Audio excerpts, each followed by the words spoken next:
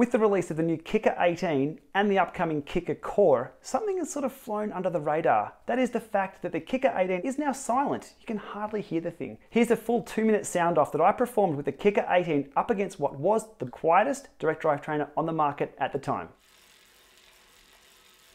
No review of the Kickr 18 would be complete without a direct head-to-head sound off with the Tacx Neo, commonly known as the quietest smart trainer out there.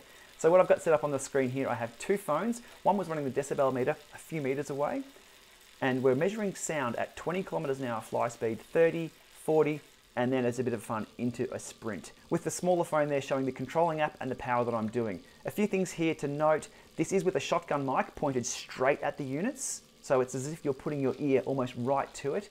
And the Tacx Neo has an Ultegra level cassette, which is known to be a little quieter than the stock standard cassette supplied with the Kickrs.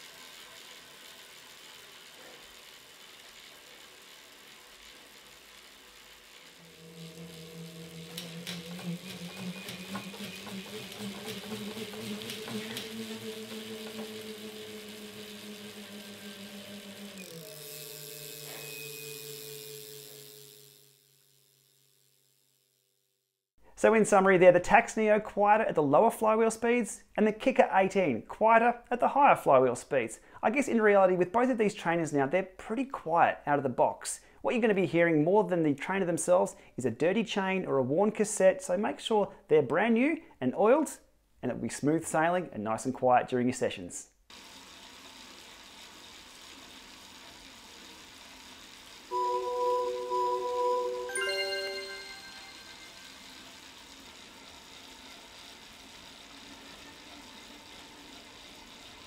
Coming up soon will be my full review of the Wahoo Kickr Core, which also implements that new silent technology from Wahoo. So if you're not subscribed, make sure you hit subscribe below to be alerted when that video drops. Thanks for watching.